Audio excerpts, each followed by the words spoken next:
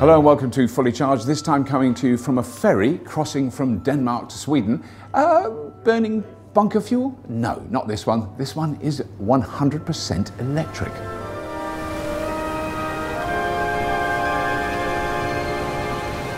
So, Christian, for a start, thank you so much for letting us ride on this amazing ferry. I mean, it's been a real joy. It's been something I've looked forward to for a long time, and it's so good to see it actually functioning. I'm sure you're very pleased. that Yeah, it's, it is. Going. It is. Yeah, it's, it's been a long process to get to, to, develop it. Exactly, it has been a long project. We've been planning for. It's almost took us three years to come to an end right. for this. Yes. Right. But it's been running now since November. Yeah, since November. And then yes. how many, you do so many crossings, because what we can't understand is how quickly it's going back and forth. It's incredible. Exactly, we do about 46 crossing, uh, single crossings every uh, 24 hours. So just give me the quick stats, because it just blew my mind when I first heard it. We charge with uh, 10 kilovolts for about uh, nine minutes in Sweden and Right. uh, five minutes in Denmark, Denmark. and 600 amps. So Right. it's a, a huge amount of It's power. a little bit more than your average electric car takes. Exactly, Yeah. yeah. what we have here now is the charging transformer. Right. So this is uh, 10.7 kilovolts, the AC coming in. Right. And on the secondary side we have about uh, 750 volts. And that is then going into the um, converters Yeah. and uh, making it uh, to uh, DC. Right. Oh, Yeah. I see. So this is the DC just a big converter. inverter. It's a big inverter, yeah. Yeah. so that and that gives you enough to, to, to cross because it's not a very long cross. What's the distance we're travelling? The, the, the, the distance is about four kilometers. Right. Yeah. Right.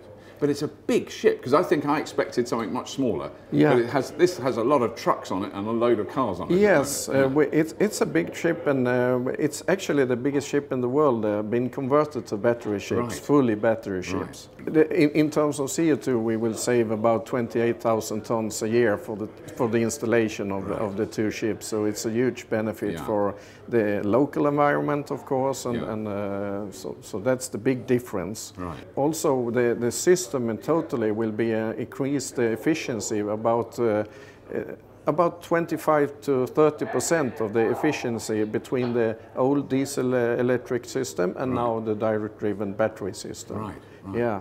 And so, I mean, is that is that reflected in the running cost? We, we think that uh, we will, the, the cost will be paid in about eight years, the investment, Right. uh, with, the, with the, uh, the fuel, fuel prices that is today. Right, But I that could, of course, change. Yeah, yeah. Yeah, yeah. But so I see. So over that eight-year period, you are uh, in ten years, you will have saved actual money, including uh, all the investment you've put into yeah, the ship. Yeah, that's Right. that's the plan, and we we, Right. we are planning to sail at least 15 more years with the ship by doing this retrofit. So, so this is uh, equal to one megawatt right in this, inside in here. this box. yeah, Wow. yeah. So it's a huge uh, Yeah. amount of power. Wow. The batteries are in uh, 800 volts, and we need uh, 1000 volts DC for the propulsion engines. Right. So they are modulating uh, between 800 and 1000 volts. Right. So that is the DC-DC converter doing that, and it's also rectifying the, the current. Right. So it is amazing. So the, the batteries are they are lithium-ion batteries. That's Yes. what you're running it on. Yes. And but quite a lot. It's a lot. big. It's 640 batteries. so- Right. So, and they are uh, installed in uh, four different uh, containers. Yeah. uh, and they're on the top because I would assume they would be right down low for weight and balance, but it doesn't. The ship is It- so big it doesn't yeah, the, matter. this, the ship is or, originally built as a train ferry, so it has a lot of stability in Right. itself from the beginning. So it doesn't put any difference on the stability by adding these 280 tons uh, on Right. top of the ship. Right. And uh, uh, for a safety point, it's very good to have all this power on top of the ship in case of some, uh, yeah, case whatever, there is a fire, a if it's on the fire top, or yeah. collision or whatever. Right, right. They are safe up here. so, what is the total kilowatt hours of the on on board that you're using? 4.1 megawatt hours. so we have a lot of power here. And this is all the cooling system then. The, the, exactly. These pipes. uh, These uh, steel uh, hoses are for the cooling water Right. inlet and outlet, and the big cables is the power Is the cables, power. DC Wow. power cables, and they are connected serial in, Right. uh, in strings with eight uh, modules together. Right. So that makes it about uh, 749 volts for one. That's what uh, we are modulating then from this 749, 750 Yeah. Up to uh, 1000 Right. with uh, so we get uh, the, the correct DC to the propeller motors. But I'm just saying because it's going to start charging soon. We're charging presumably. right we are now, charging now because now Right. we have minus here. I see. So that means we're putting we're, We're we putting are, power in. we're pulling uh, current Yeah. inside the, the, the battery. So there are motors then driving at the front and at the back. Yeah, that's Yeah. correct. It's uh, four uh, thrusters, uh, each of uh, 1,500 kilowatts, so altogether 6,000 kilowatts. Wow. So it's a very flexible ship and maneuverable. We can Yeah.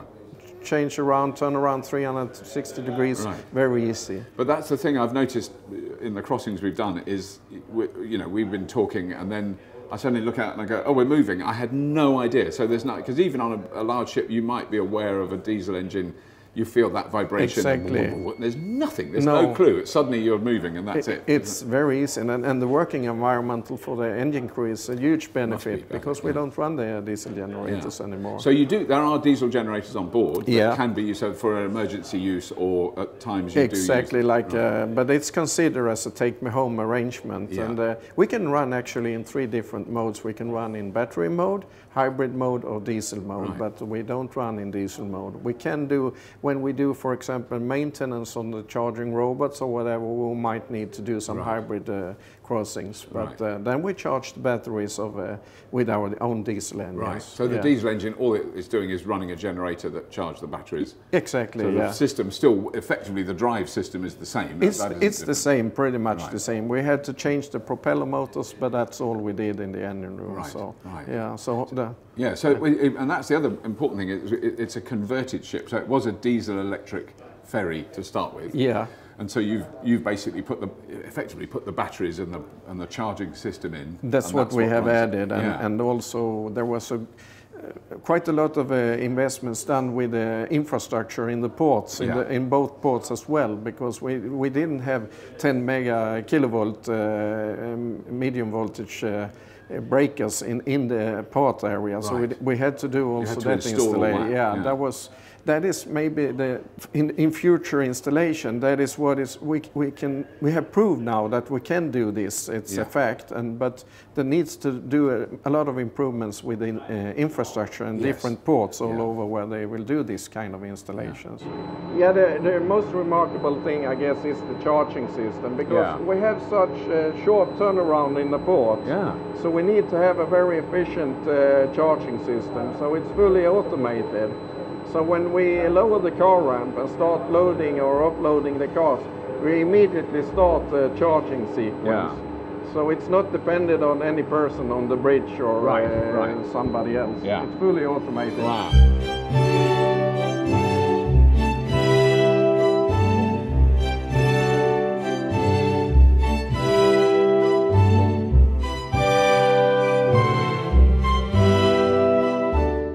The robot arms are extraordinary. I mean, is that the first time that sort of system has been used? Is that your, it is? yeah, yeah. It's the first Yeah. time. So uh, and and uh, the connecting time is about 45 seconds, and uh, we needed a very quick because we need to charge as long as possible, Yeah. uh, uh, as we have a very short turnaround time in the port. And then, so uh, in a year, then how many crossings will you do? I think you did tell me. I mean, it's a great many. Yeah, it's um, uh, in a year. It's uh, I think it's something about uh, 17,000 crossings or something right. like that. Yeah. So yeah. that's 17,000 charges. Or no, it's Exactly. more. It's because it's yeah, you're it's, charging uh, at yeah, both ends. Exactly. Yeah, it's yeah. a lot of charging. It's a lot of charging. Yeah. So. I mean, and what? And because it's still what, you've been running since Si- November. Since November, of- we, we had a, 2018. yeah yeah we can say that. Yes. So I mean, at the moment, then I suppose you don't quite know how the how the batteries will hold up. But what do you expect to get from we them? expect to have them running for five years. Right. Uh, that's theoretically, but uh, we can see what we've seen so far. We think we will make it.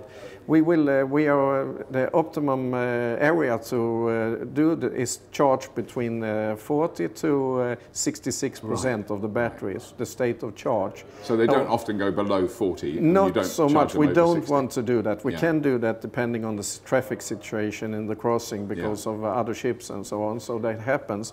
But we prefer to be in this area. The depth of the charge should be about 27% for these batteries. Right. That's why we're charging in both ends Yeah. To keep them on So in fact, you could do more. you know, we could actually, could theoretically, we could do about three and a half crossing without charging, Right, but Uh, that's not optimal for the batteries, no. and we don't want to get that low. Uh, we're about to come into dock, Christian, so I thank you so much for your time today. You've been brilliant at explaining it all. We've, had an amazing crossing. It's very calm. It's very, Yeah. it's very nice. thank you so much, You're and, and really good luck with it. And I hope lots of, well, I know lots of people have come to see it, other shipping companies. It so is, yes, It yes. sounds like it's, it's been a great success. It has, it has, yeah.